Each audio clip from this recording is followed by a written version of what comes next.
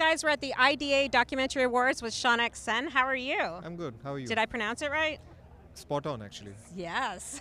what are you known for? Please let us know. For directing, I think. Um, uh, today we're here with four nominations for Wow. a film called All That Breathes, um, and I'm nominated for Best Director, uh, Best Film, our editor's nominated, and our cinematographer's nominated. That's ins- are, how did you feel when you found out you had four nominations? That's pretty great. Fairly happy. I mean, Yeah. Uh, what's not to be really, really uh, joyful about?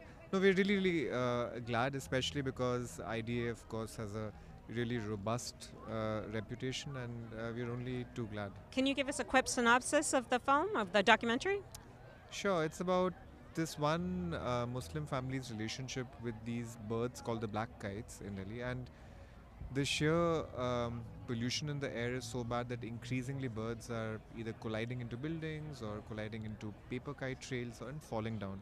And these brothers have basically treated more than 25,000 black kites in the last 15 years. Wow. And I mean, it feels a bit reductive to put it like this, but essentially it's like a ecological, philosophical, and uh, socio-political history of Delhi through the relationship of this one family and the birds. You're That's cutting. You're you're like delving into so many areas of like envir- like the environment and uh, relationships, and there's so much to learn from that documentary. I mean, it took us three and a half years to make the film. So yeah, um, it sounds like it because it's so layered.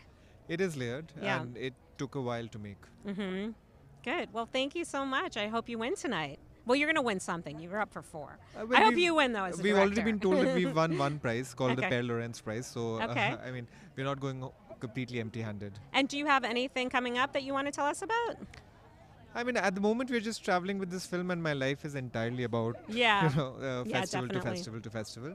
Uh, but yeah, the film is releasing um, in HBO at HBO on the 7th of February. Oh, perfect. So everyone will go and watch it. Good. Thank you so much. Thank you. You're welcome.